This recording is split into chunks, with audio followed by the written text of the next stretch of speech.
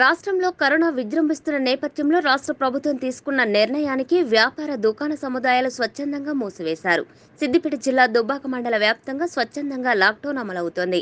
ప్రభుత్వ ఆదేశాల అనుసారం ఉదయం ఆరు గంటల నుండి పది గంటల వరకు దుకాణ సముదాయాలు తెరుచుకున్నాయి. పది గంటల తర్వాత దుకాణ సముదాయాలు మూతపడ్డాయి. ప్రభుత్వ కార్యాలయాలతో పాటు బ్యాంకులు యథావిధిగా కొనసాగుతున్నాయి. పది గంటలు దాటిన తర్వాత రోడ్లపై అనవసరంగా ఎవరు కనిపించినా కఠిన చర్యలు తీసుకోవడం జరుగుతుందని స్థానిక ఎస్ఐ మన్ని స్వామి హెచ్చరించారు.